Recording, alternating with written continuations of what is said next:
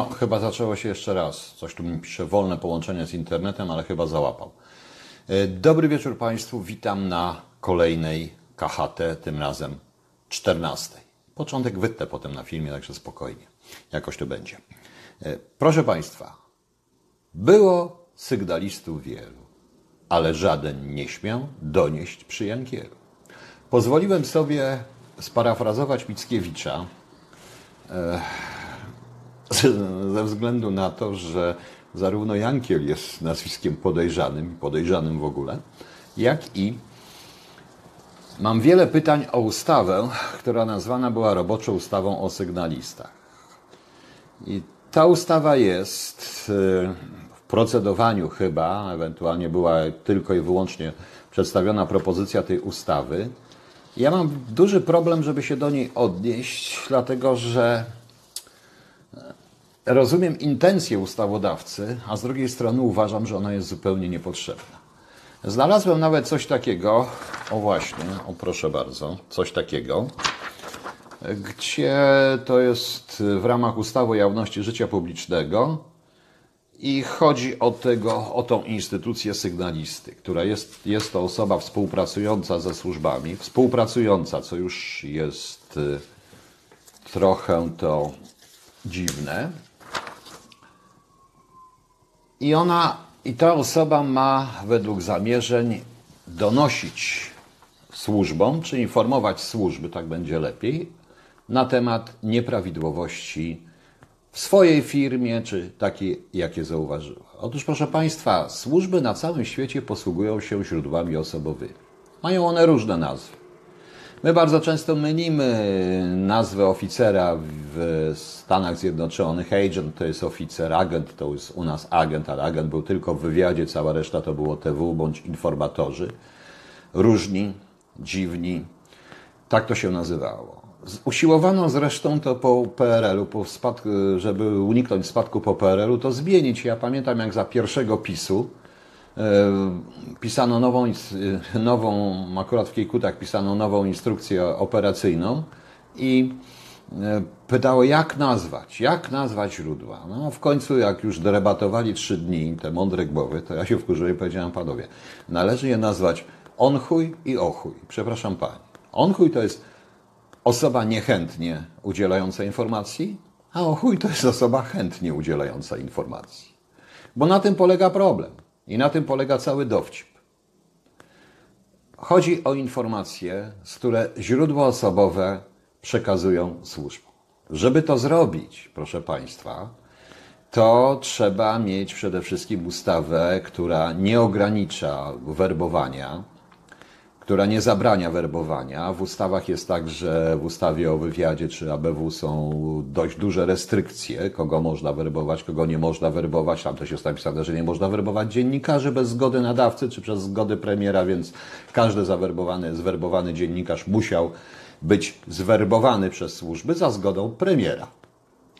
I musiały te służby zgodnie z ustawą poinformować nadawcę. To jest jedno z takich małych myków i wyjaśnień.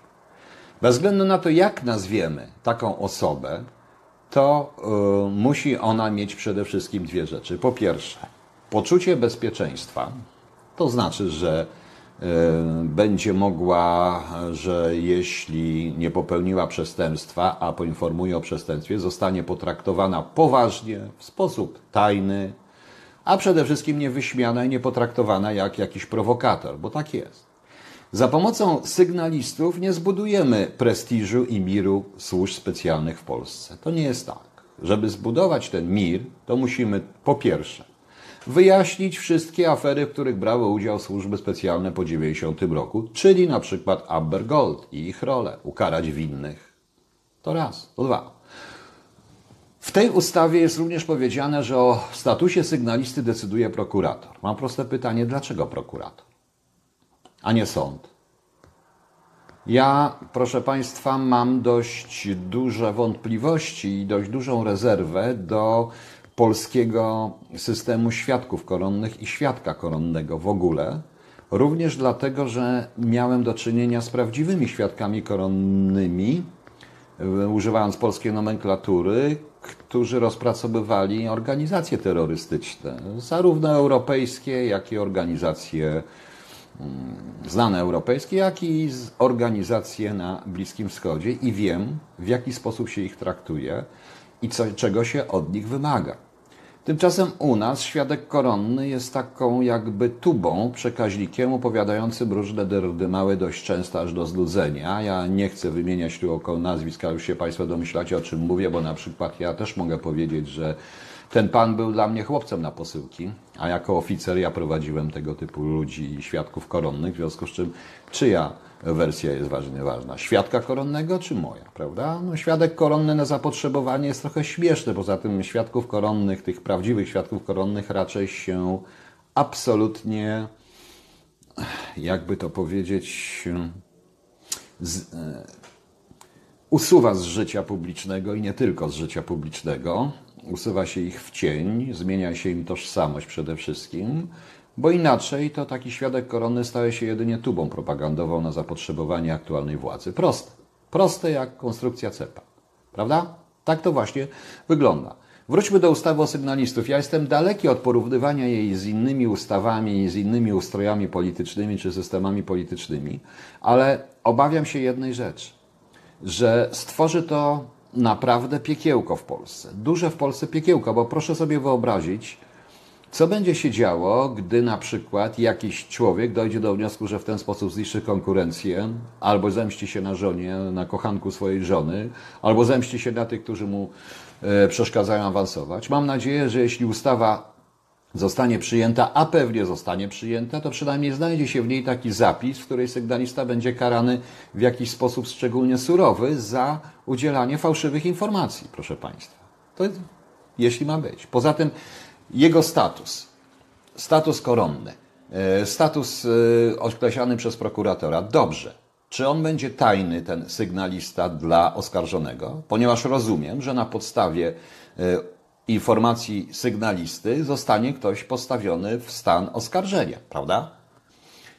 Bardzo dobrze, że zostanie postawiony w stan oskarżenia, bo przestępców należy karać. Tylko, że adwokat tego oskarżonego ma prawo dojść do wszystkich E, do materiałów e, śledztwa. I oskarżony ma prawo się z nimi zapoznać i wówczas będzie znał nazwisko sygnalisty, chyba że nadamy sygnaliście status świadka koronnego. Wtedy on będzie pod maską i tak dalej zeznawał, zeznawał, czy ktoś będzie w jego imieniu zeznawał, ale wtedy po co robić ustawę o sygnalistach, skoro jest ustawa o świadku koronnym, prawda?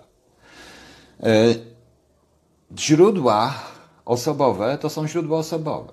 Czy to byłyby, e, nazwijmy je sygnalistą, czy osoby zaufane, czy kontakty przypadkowe, bo takie też są i takie też są w kategoriach służb, to przecież nie zmienia to faktu, iż służby muszą pracować. Nie można również zastąpić pracy operacyjnej yy, namawianiem ludzi do donoszenia nawzajem, nawzajem na siebie.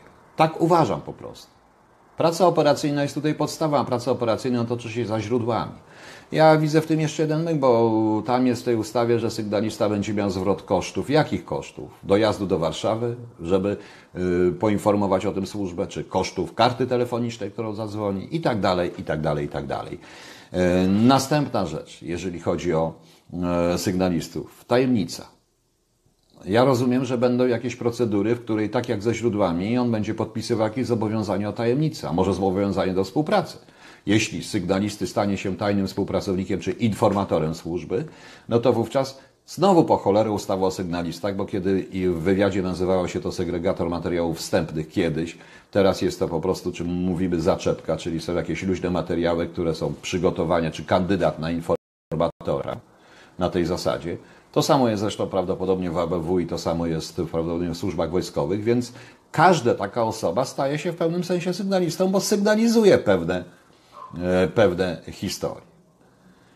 Następnie uważam, że każdy, kto poniósł, kto mm, zdobył wiedzę o przestępstwie, powinien jednak zgłosić to. Zgłosić tą wiedzę i zgłosić to przestępstwo do określonych władz. Przepraszam, mam tutaj jakieś chyba pytania, ale muszę się włączyć w ten komputer e, i muszę zobaczyć. No właśnie. zaraz tutaj, zaraz, zaraz, zaraz tutaj zrobimy, proszę Państwa, żebym wiedział. Ktoś tutaj napisał, pan Marcin Biały, cała ta ustawa o sygnalistach, konfidentach to powrót do starych tradycji PRL. Nie do końca, nie do końca tak jest, ponieważ takiej e, kategorii nie było w PRL-u. Były na samym początku być może, ale to nazywane jako osoby zaufane w tym w układzie. Oczywiście, że służby się posługują donosami, donosy są do, po to, żeby, e, żeby donosy są właśnie po to, żeby e, je weryfikować. Jest też też sprawa wykorzystywania służb w celu zwalczania konkurencji, działalności gospodarczej. O tym trochę pisałem. Miałem sam styczność przy, z tym, będąc na placówce, kiedy była prywatyzacja u nas przemysłu chemicznego i jeden z graczy w tej prywatyzacji, ogromna, bardzo znana firma, przyszła po prostu, przyszedł facet, oferent, twierdząc, że jest e, wydalony z innej firmy, również gracza konkurencji tej firmy, również wielkiej firmy farmaceutycznej i dał nam materiały. Materiały te oczywiście były trochę spreparowane, ale to było typowe wykorzystanie służby specjalnej, ponieważ on wiedział, że decyzje na ten temat podejmuje tylko i wyłącznie państwa. Musi się zwrócić do państwa. I do kogo ma się zwrócić? Oczywiście do przedstawiciela tego państwa, czy tylko wywiad, czyli oficera wywiadu. I tak to właśnie y, mniej więcej wygląda. To wszystko się w tej chwili zmienia. Y, dalej, y, w ustawie jest również coś napisane takiego, coś takiego przeczytałem, że sygnalista ma być pod ochroną prawną i między innymi pod ochroną prawa pracy, czyli nie można go wyrzucić z pracy. Bardzo dobrze. Z jednej strony świetnie, bardzo się cieszę. Tylko wyobraźcie sobie, tylko czy ci twórcy tej ustawy myślą, mają chociaż trochę empatii i myślą psychologicznie. Ja sobie nie wyobrażam po ujawnieniu tego sygnalisty, że on zostaje w pracy, prawda? No mógł zostać w pracy. Czemu nie? Ale co się dzieje wokół niego?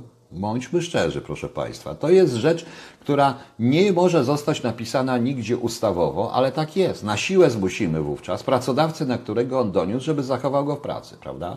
A co, jeśli wskutek jego donosu spółka, instytut, instytucja, w której on pracuje, zbankrutuje i, i się rozwiąże? To co zrobimy z sygnalistą? Gdzie on tą pracę? Załatwimy mu pracę w następnej? No więc to również jest postępowanie ze świadkami koronnymi, jak również pewne zasady postępowania ze źródłami osobowymi, zwanymi informatorami w e, nomenklaturze polskiej. E, tak to, e, tak to po prostu jest. Pan Adam Zwierzyński, donosy są po to, żeby kogoś uwalić albo nagrodzić za dobrą pracę wbrew pomówieniu. No, to trochę chyba złośliwie, prawda? To takie są, takie są po prostu, no niestety, no ja powiedziałem wprost, ja nie widzę potrzeby tej ustawy. Ja natomiast widzę potrzebę zrobienia e, prawdziwego kontrwywiadu i będę cały czas mówił, a kontrwywiad nie będzie się opierał na sygnalistach, ponieważ tam wszystko jest ściśle tajne, tylko będzie się raczej opierał na dojściu do ludzi. Jeśli ten kontrwywiad się otworzy i dojdzie do zwykłego społeczeństwa, zrozumie, że kontrwywiad obywatelski to nie jest prowokacja wobec służby z legitymacjami, tylko jest to po prostu pomoc służbie w bezpieczeństwie państwa, jeśli ten kontrwywiad będzie potrafił wytłumaczyć społeczeństwu, że każdy na każdym stanowisku, od sprzątaczki do głównego szefa, ma swoją określoną rolę w systemie bezpieczeństwa państwa, wówczas niepotrzebna nam jest ustawa o sygnalistach. Proste, jak konstrukcja CEPA. I właściwie to na tym bym skończył, jeżeli chodzi o sygnalistów, ponieważ, yy, no powtórzę to po raz trzeci. Naprawdę uważam, że ta ustawa jest niepotrzebna. Do niczego nie ma co tworzyć bytów.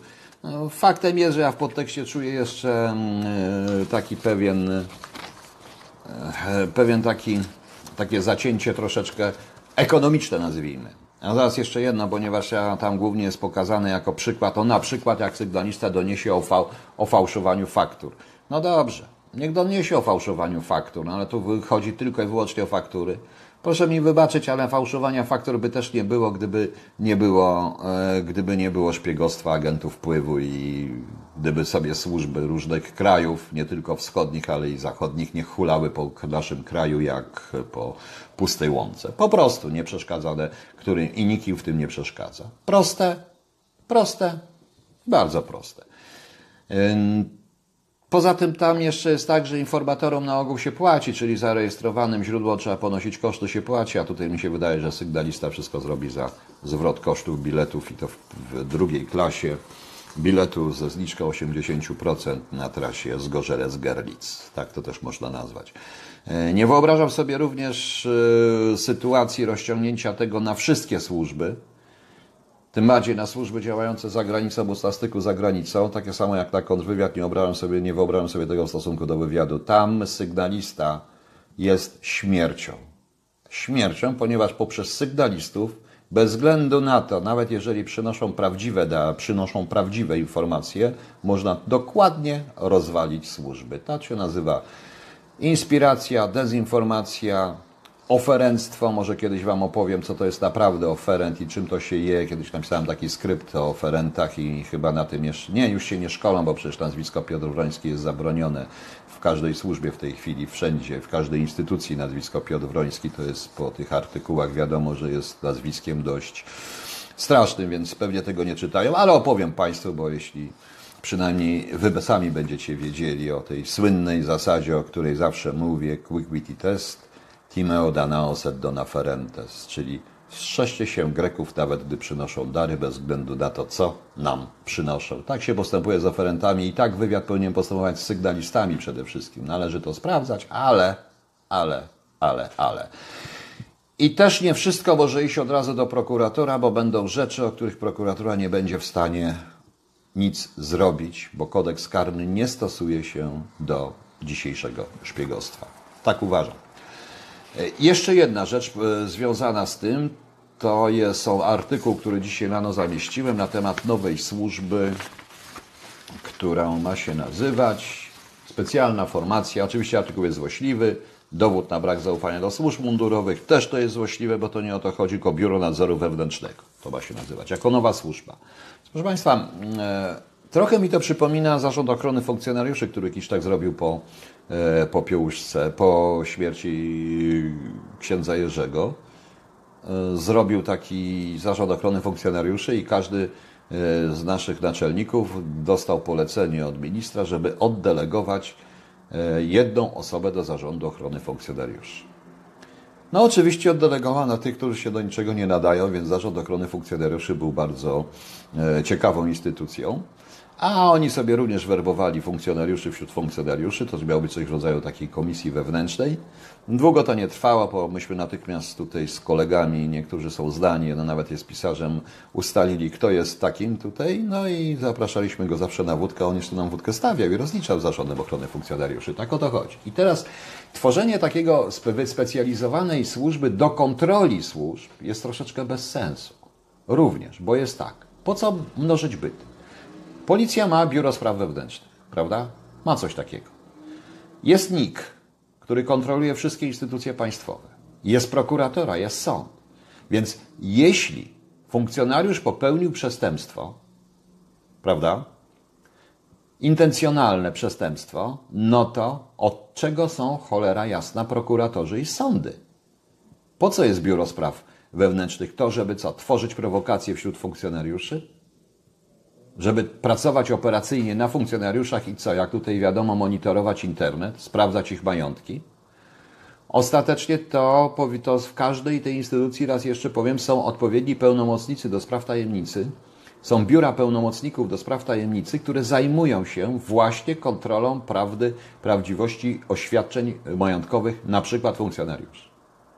Po co to wynosić na zewnątrz? Po co tworzyć? Kto to będzie? Kto tam będzie pracował na dobrą sprawę? Czy chodzi o to, żebyśmy patrzyli na to, czy jacyś policjanci, czy bo to dotyczy tylko MSW, czyli to strażacy, policjanci, Straż Graniczna, Straż Więzienna, czasami nie knują, nie spiskują. Proszę Państwa, e, ja również mi się zdarzyło prowadzić w latach 80. i jest to w IPN-ie, uczestniczyć w sprawdzaniu sprawy człowieka, oficera, który oszukał, który chciał po prostu wyłudzić pieniądze, stworzył historię i to robiliśmy w ramach wywiadu. Sami. Robiliśmy to operacyjnie. Oczywiście on powinien pójść do prokuratury, ale takie były czasy dla dobra służby. Ja też znam z lat 90., uważam, czy nawet ostatnich 2000., że jest trochę funkcjonariuszy, którzy również powinni pójść pod prokuratora, tylko najpierw okładki, a potem pro, pro, pod prokuratora, nie tylko za oszustwa, ale także za szpiegostwo. Ale to już jest insza inszość, po prostu, proszę Państwa. Jeśli stworzymy kolejną służbę, to są kolejne pieniądze. Kolejne stanowiska, kolejne etaty, kolejne samochody, sekretarki, działania, na działania i tak dalej. Czy to lepiej nie te pieniądze wydać na prawdziwe działania operacyjne, na przykład działania kontrwywiadowcze, które naprawdę potrafią być drogie i są drogie i muszą być stałe. Żeby to zrobić, to trzeba na to pieniędzy, ale nie, będziemy tworzyć służbę, która ma funkcjonować, patrzeć, czy policjanci nie piją wódki, bo do tego się to ogranicza, czy policjanci nie piją wódki na służbie, piją, nauczą się tak pić. Ja pamiętam jednego ministra, który miał hopla na punkcie papierosów i ten minister potrafił chodzić po agencji wywiadu i sprawdzać, czy nie pali się papierosów w tym. Jak złapał jedną osobę, czy pali papierosy w pokoju, znaczy nie mnie, bo ja i tak paliłem, do mnie nawet nie wchodził, to, to pozbawił ją premii po prostu, bo tym się zajmował minister. Jakby się nie miał czym zająć, prawda? E, zrobiliśmy wtedy taką rzecz, że stworzyliśmy system ostrzegania, otwierając, ustawiając szafy pancerne w taki sposób i otwierając, że otwarcie drzwi powodowało łup, łup, łup, łup, łup, łup. Pan minister raz wszedł się, cofnął, już więcej nie wszedł, po prostu się przestraszył tego huku. A myśmy i tak tam palili. No więc na tym polega dowcip, proszę Państwa.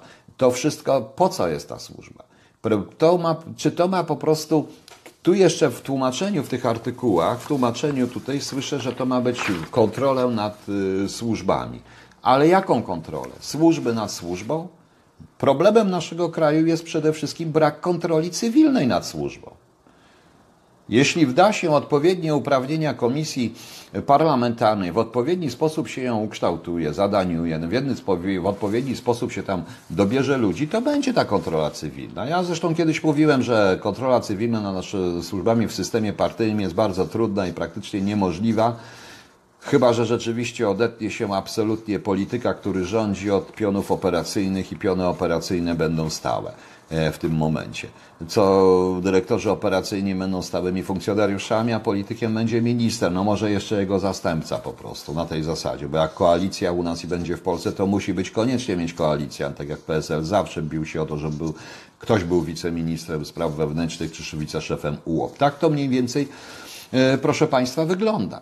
E, także mm, to jest po prostu, o, i tutaj pisze, według wiceszefa MSWiA Jarosława Zielińskiego BNW, czyli Biuro, e, jak to to się nazywa, no nieważne, urzeczywisti cywilny nadzór nad służbami. Czyli co? Tam będą pracować cywile? No, kto tam będzie pracował? Cywile? Jacy cywile? Skąd ci cywile przyjdą? Z ulicy? Będziemy robić nabór? Ludzi, którzy nie znają tej pracy, będziemy robić nabór do służby nadzorującej inne służby, przecież oni zostaną zjedzeni w sekundę. Co to oznacza? Jeżeli cywilny nadzór, to nie może być inna służba. I jeszcze raz powtarzam. Jest gabinet ministra. Wystarczy biuro spraw wewnętrznych policji przenieść do gabinetu ministra. Po prostu. I wtedy jest to jednostka zewnętrzna. Wystarczy w prokuraturze stworzyć komórkę. W prokuraturze czy krajowej, czy okręgowej, jak to woli, może lepiej krajowej, stworzyć komórkę, której, która będzie pełniła funkcję nadzoru nad policją, strażą graniczną, służbą celną czy innymi służbami. Ale w, ten sposób, jeżeli o tym mówimy, to jest jakaś pomyłka, bo to jest taki oksymoron. Służba, ma, która ma mieć nadzór cywilny. No, dobrze, niech tak będzie. Dobrze, proszę Państwa. Ja tam mądry nie jestem, mądry, bo jakbym był mądry, to bym pewnie był ministrem już, ewentualnie byłbym gdzie indziej w ogóle. Ja po prostu mówię, proszę Państwa, co myślę. To była KHT numer 14. Naraziłem się znowu wszystkim od początku do końca. Zdaje się, że kolej argumenty, jeśli w ogóle będą jakieś kontrargumenty tutaj tych, których zaatakowałem w cudzysłowie, to będą jedyne argumenty. Jest takie jedno słowo na S, na S potem ma back i to będzie jedyny argument. Back, ale back polskie, nie back angielski. Także dziękuję Państwu raz jeszcze. Dobranoc. No i do jutra na KHT 15.